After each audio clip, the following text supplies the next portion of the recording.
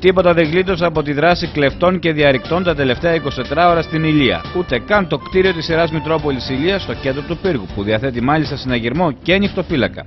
Ο Μητροπολίτη Ηλίας Γερμανός κοιμόταν στο δωμάτιό του, όταν άγνωστοι μπούκαραν από την πίσω πόρτα στον κήπο. Οι θρασίδωτοι διαρρήκτες δεν φοβήθηκαν συστήματα συναγερμού και νυχτοφύλακα και κατάφεραν να φτάσουν έως το χώρο του λογιστηρίου και να πάρουν το ποσό των 6.500 ευρώ. Τα χρήματα βρίσκονταν σε φάκελο και προέρχονταν από ίσπραξη ενοικίων. Σε αρτοπείο στον πύργο, οι κλέφτες μπήκαν με το αυτοκίνητό τους μέσα στη νύχτα.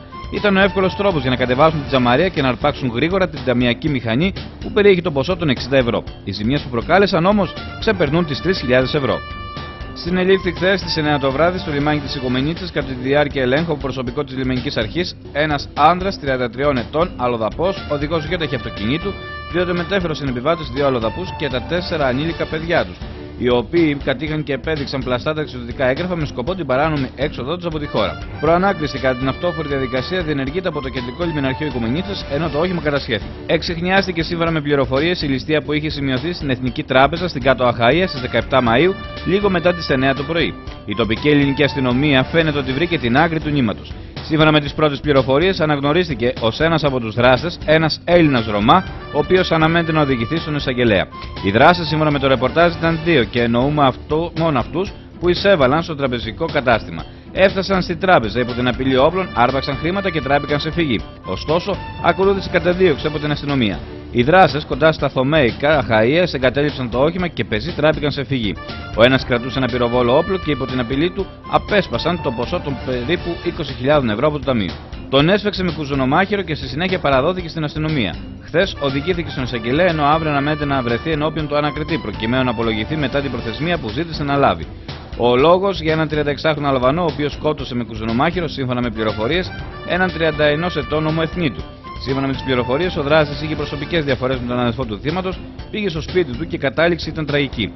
Μάλιστα, η αφορμή για το θλιβερό συμβάν, όπως αναφέρουν πληροφορίες, ήταν μια εκδρομή στην οποία δεν πήρε τον δράστη ο αδερφό του θύματος. Το έγκλημα συνέβη στις 11 το βράδυ του Σαββάτου στο Λάπα Χαία.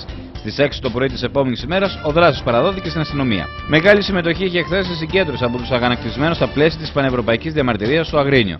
Κόσμος συγκεντρώθηκε στην πλατεία, περισσότερο από κάθε άλλη φορά, ενώ συνεχίστηκε και χθες, όπως και όλες τις ημέρες, η συλλογή υπογραφών για τη σύσταση Επιτροπής Ελέγχου του Χρέους. Μάλιστα, στο Αγρίνιο οι υπογραφές έχουν ξεπεράσει τις 2.600. Στην πλατεία τραγούδισε και το αγρινιώτικο συγκρότημα Mind the Gap, ενώ στη συνέχεια ακολούθησε γενική συνέλευση όλων των παρευρισκομένων.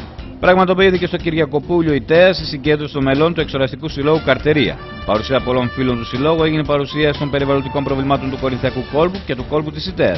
Κύριος ομιλητής ήταν ο Δημήτρης Αγγελόπουλος, πρόεδρος του Δευτεροβάθμιου Συλλογικού Οργάνου Αλκιών και με μια μεστή και εμπεριστατωμένη ομιλία του ανέδειξε τα προβλήματα που απειλούν την καθαρότητα και τη βιωσιμότητα του Κορινθιακού κόλπου. Μέλη της καρτερίας ανέπτυξαν τα πορίσματα μελετών καταξιωμένων καθηγητών ελληνικών πανεπιστημίων, τα οποία αναφέρονταν και κατεδείκνυαν την ρήπαση του κόλπου. Ιδιαίτερη αναφορά έγινε στις μετρήσεις που έχουν γίνει στον κόλπο της Αγκάλης και στο νομικό καθεστώς που διέπει τη χρήση ξηράς και θαλάσσης στην περιοχή Λαρνάκη.